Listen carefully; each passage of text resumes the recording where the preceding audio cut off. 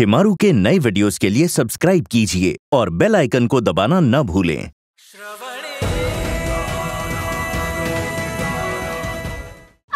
हमारी दादी छीनी ना हम आपसे आपकी हवेली जीतने की तो हम किसी से भी बांटना नहीं चाहती हमें उसके लिए कुछ भी क्यों ना करना पड़े?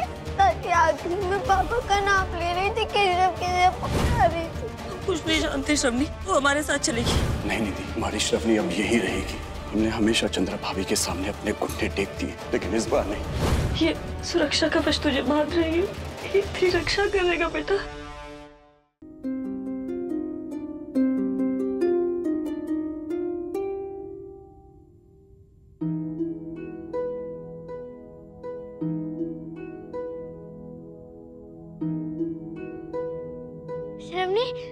तुम आ गई।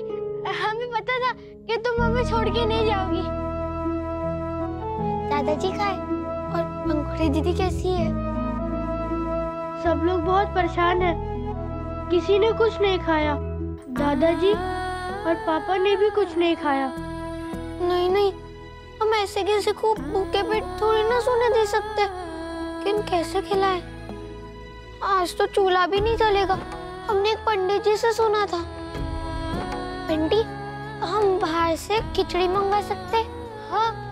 हम मंगवा तो सकते, हमारे पास पैसे हैं तो सबके लिए खिचड़ी मंगवा दो ना। पर अगर किसी ने नहीं खाया तो बस तुम मंगवा लो। हम अपने परिवार को खाली पेट नहीं सोने देंगे। अगर अभी दादी होती ना तो ऐसे किसी को भूखा नहीं सोने देती। सबको डांट डांट के खिलाती। ठीक है। अच्छा श्रवणी, तुमसे एक बात पूछे? तुमने बाबा के सामने इतनी बड़ी बात कैसे कही कि हमारी माँ ने दादी को तुम्हें माफ़ कर दो बंटी। तुम्हें बुरा लगा होगा, ना?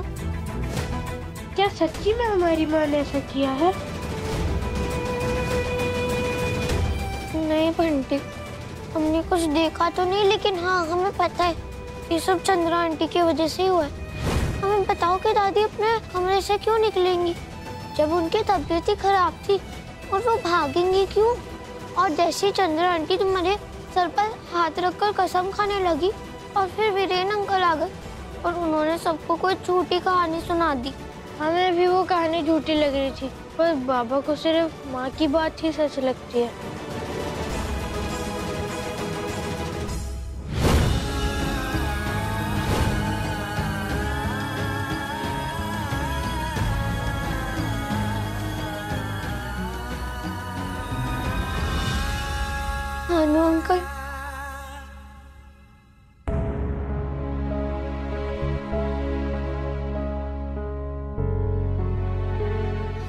वजह से आपको कितनी परेशानी हुई ना? हमने आपको कितना परेशान किया? हमें माफ़ कर दीजिए। मैं डांटना डांटिए हमें सजा देनी सजा दीजिए। लेकिन ऐसे हमसे गुस्सा मत रहिए। नहीं बेटा, हम हम जानते हैं, अम्मा से कितना प्यार करती थी। और अम्मा ने भी तुम्हें ममता थी। दादी की बहुत याद आ रही क्या हम थोड़ी देर यहाँ बैठ सकते हैं आपके पास?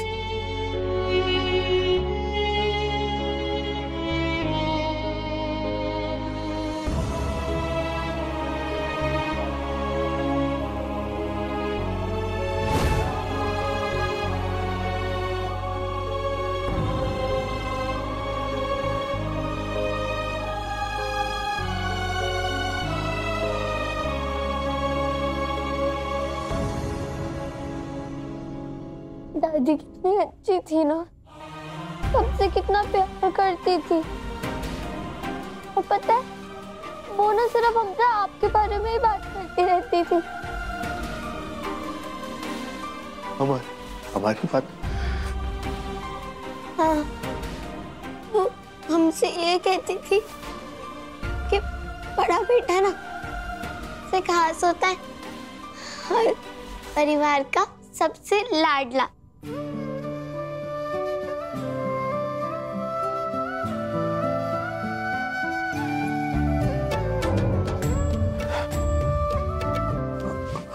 और क्या कहते थे? जब आप छोटे थे ना तो आप बहुत मोटे थे। और आप बहुत जल्दी चलना सीख गए थे। छोटी सी उम्र में आपने बहुत कुछ संभाला। हमने पूछा आपके तो इतने सारे बच्चे थे। आपने संभालती कैसे थी? तो उन्होंने हमसे कहा कि अरे पगली हमारी तीसरी आँख। हमेशा भानु रहा है।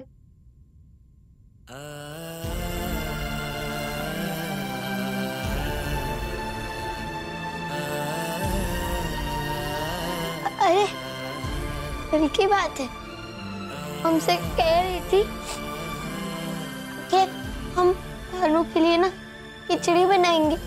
क्योंकि आजकल उसका पेट थोड़ा खराब रहता है ना।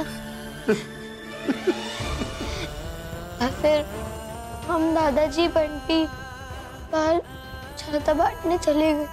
फिर दादी खिचड़ी बनाई अरे, क्या फ़ायदा? खिचड़ी तो फेंकनी पड़ेगी ना क्योंकि अब तो कोई भी कुछ नहीं खाएगा। अब भूखे रहेंगे और दादी को ये सब देखकर कितना दुख होगा ना कि सब भूखे और उनके हाथ की बनाई हुई खिचड़ी फेंक दी।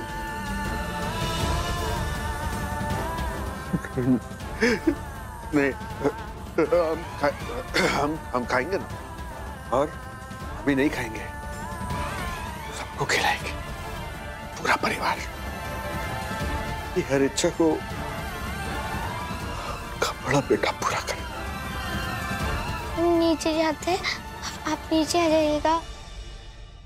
ठीक है आप रोइएगा मत। ठीक है?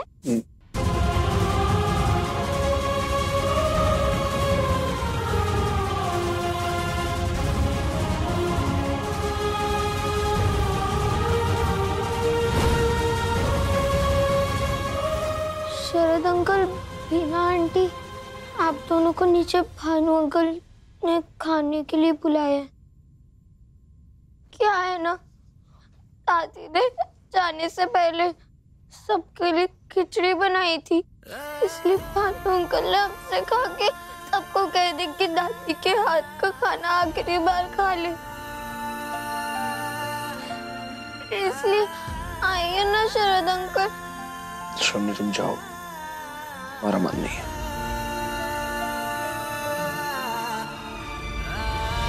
अगर अभी दादी होती ना तो फिर आप लोगों को ऐसा भूखा नहीं रहने देती। हमारा मन नहीं है सोनी तुम जाओ। सुनी माँ जी ने अपने हाथों से बनाया था खाना।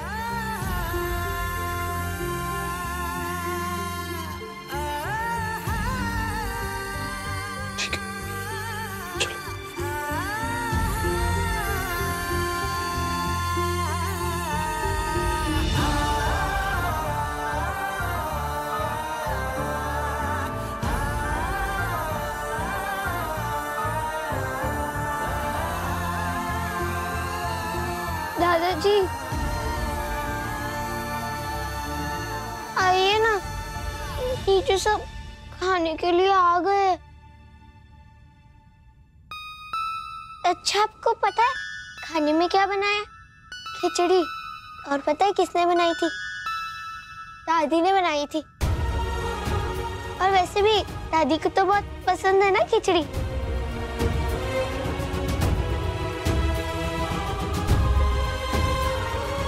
हिंदू को तो खिचड़ी बिल्कुल पसंद नहीं थी ना बेटा अरे दादाजी आपको क्या पता आप जब कोठरी में बंद थे ना तब दादी ने हमारे लिए खिचड़ी बनाई थी तो उनको भी अच्छी लगने लग गई और पता है दादी ना आधी रात को फ्रिज में से निकाल कर खाती थी ये तो तुम ठीक कह रही हो हिंदू को ना रात को खाने की हुड़क होती थी। तो इसी बात पे नीचे चली। खा लेते सबके साथ। आपके बिना कोई भी नहीं खाने वाला। ओहो चलिए ना दादाजी। और वैसे भी आपको दो हिस्से का खाना खाना है। एक दादी का और एक आपका। दादी को भूखा रखेंगे क्या? हिंदू के लिए तो जाना पड़ेगा।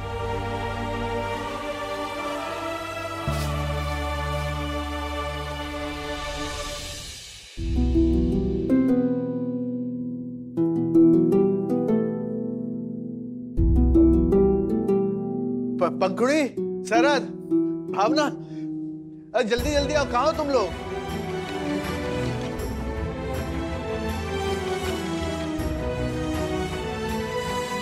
अरे बैठो जल्दी जल्दी तुम लोग।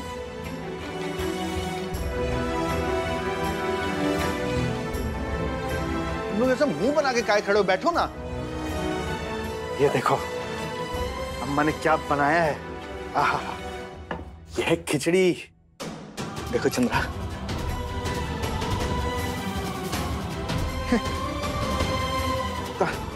कितनी खुशबूदार है ना? भैया। अरे ये, ये रोना चल ये देखो।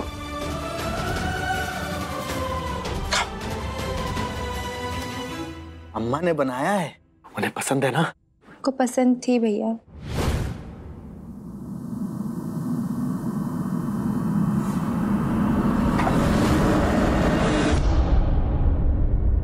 पसंद था नहीं है और हमेशा ही रहेगा।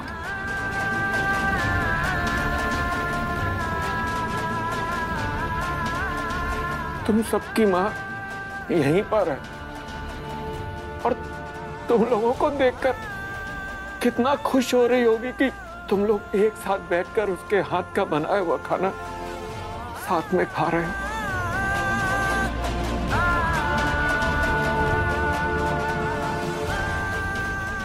तुम लोग सब खाओ और उसको प्यार से याद करो।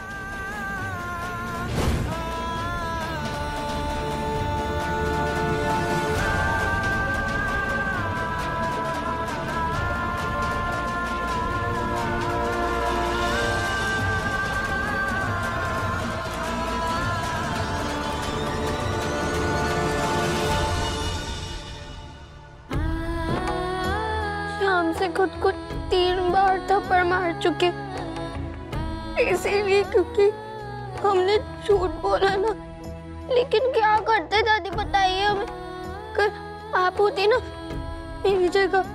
तो फिर आप भी यही करती दादी।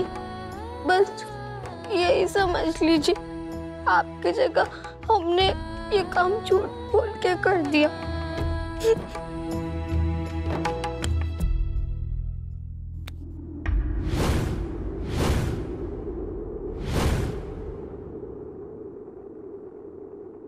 नहीं शरवनी, इतना अच्छा काम कर कर तुम अपने आप को थप्पड़ क्यों मार रही हो? अब यहाँ पर दादी होती तो तुम्हारी पीठ थपथपाती, तुम्हें प्यार करती, ना कि तुम्हें मारती।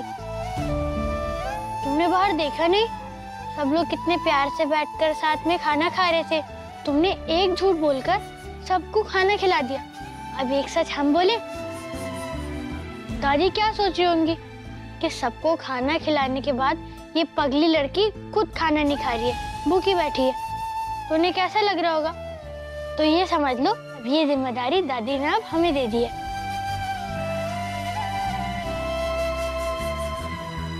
अब चलो, बैठो। खाना नहीं खाना? बैठो। इसको इधर रख दो। अब आ करो। चलो खाओ।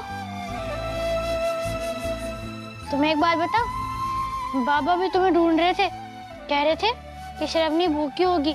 जाकर उसे खाना खिलाकर आ जाओ। और तुम खाना नहीं खा रही हो तो चलो आ करो। तुम्हारे चक्कर में हमने भी खाना नहीं खाया कि जब तक श्रवनी खाना नहीं खाएगी हम भी नहीं खाएँगे। चलो चलो खाओ आ करो। नहीं बंटी हमें नहीं खाना मेरा मन नहीं तुम खा लो। ऐसे कैसे नहीं? हाँ दादी। हाँ हम खिलाते अच्छा अच्छा ठीक है हाँ, हम खिलाते अब देखो दादी से हमारी पिटाई लगवाओगी क्या? उन्होंने हमारी ड्यूटी लगाई है कि सिरपनी को अपने हाथों से खाना खिलाना है। तो चलो, खाओ, दादी के लिए।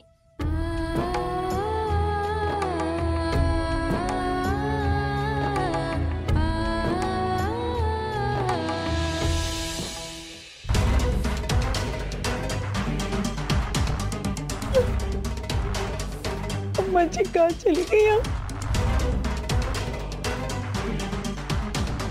आप हमें इस घर में लेकर आई थी और अब हमें छोड़ के चली गई। घर घर नहीं रहा। बड़ों का साया नहीं। हटना चाहिए बच्चों के सर से। वरना सब बिखर जाते। हमको बुला लीजिए। हमें अपने पास बुला लीजिए ना हम तो हो भी नहीं सकते। सबको लगेगा। कमज़ोर पड़ रहे हैं हमें। ताकतवर रहना है ना। तो नहीं रह पाएँगे, हमें बुला लीजिए अपने पास अपने पास बुला लीजिए बुला लीजिए अपने पास। चंद्रा। पगला गई होगा रोना नहीं, रोना सुबह कीमती है। चंद्रा, हम जानते हैं कि तुम कि तुमने अम्मा को सगी बेटी से भी ज़्यादा प्यार किया तुम्हें जीना होगा। इस तरह से घुट घुट के आपने देखा बाहर हमारी आँखों में आँसू नहीं आते क्योंकि हम बड़े हैं, हम इस घर के बड़े बेटे हैं और हम बड़ी बहू। अगर हम लोग टूट गए तो इन लोगों को कौन संभालेगा? हिम्मत तो रखनी होगी, लेकिन अंदर से तो तकलीफ़ है। अम्मा जी कहाँ चली गई। देखो, तुम हमारी हिम्मत तुम इस तरह से, तुम इस तरह से रोगी तो हमारा, हम टूट जाएँगे, चंद्रा।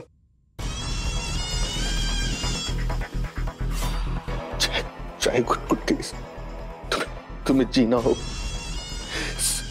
स्वीटी के लिए, बंटी के लिए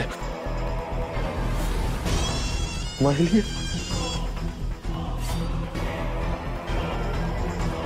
लेकिन एक बात कहें। जब से माँ गई है, तब से घर सुना सुना हो गया। सही कहा।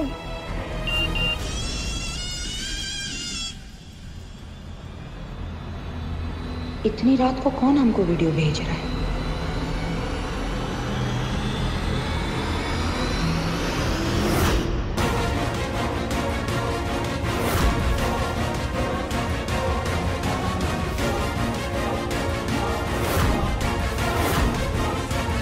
है ना चंद्रा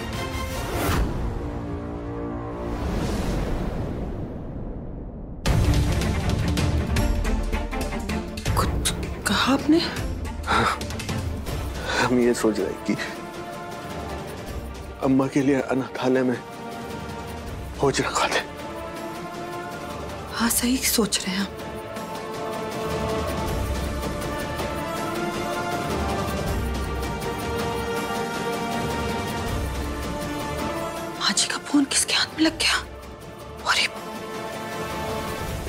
किसने भेजा हमको कौन हो सकता है? ये वो ब्लैक ब्लैकमेलर तो नहीं, पर वो है तो उसके हाथ में फ़ोन कैसे चला गया?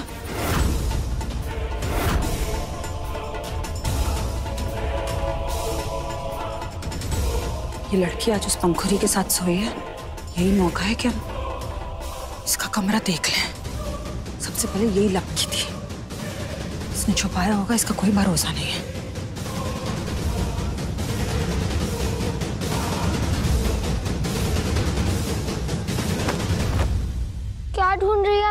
कमरे में? तुमको नहीं पता हम कहा ढूंढ रहे हैं। तुमको पता है तुम्हारे पास है। दो। मोबाइल दो। कौन सा मोबाइल? किसका मोबाइल? हम किसी मोबाइल के बारे में नहीं जानते। बकवास बनना बंद करो झूठ मत बोलो। तुमको पता है जो तुम हरकतें कर रही हो ना तुमको क्या लगता हमको समझ में नहीं आता। वीडियो तुम भेजी थी ना? कौन सा वीडियो? कौन? चंद्रा। हमारे दिन बहुत कम है इस घर में श्रवणी। छल कूद जो कर रही हो ना खत्म है सब कुछ। याद रखना।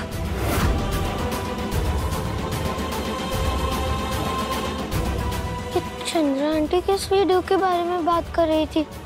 कौन सा वीडियो? क्या है उस वीडियो में? हमें तो कुछ समझ नहीं आ रहा है। इस वीडियो से दादी का कुछ लेना देना तो नहीं है?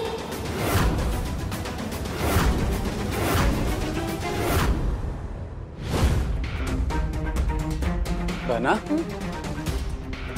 क्या हो बना तुम्हारे चेहरे का हवाइया का उड़ा हुआ है? वीरेन वो फ़ोन किसी के हाथ लग गया।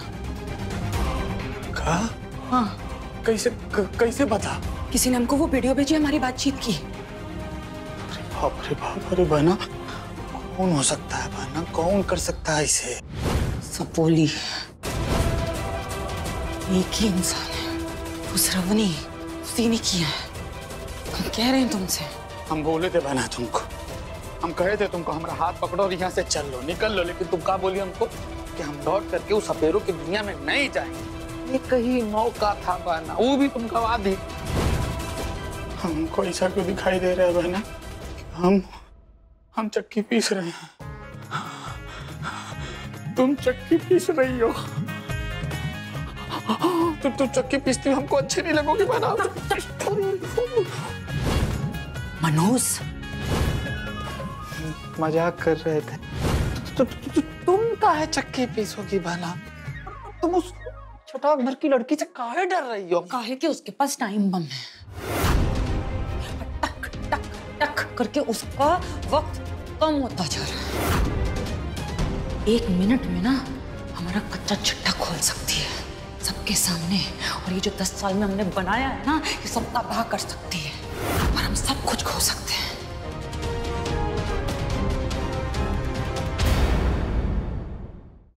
अंकल को सारी सच्चाई बताना बहुत ज़रूरी है। कोई कुछ नहीं बोलेगा। हिंदू को कुछ नहीं होता अगर हमने चंद्रा को उकसाया ना होता ना। चाचू आप कभी हवेली में वापस नहीं आएँगे? बेटा वो जहाँ पर भी है कम से कम ज़िंदा तो है ना? दादाजी। हमने कह दिया सो कह दिया। आज से यह लड़ाई बिल्कुल खत्म।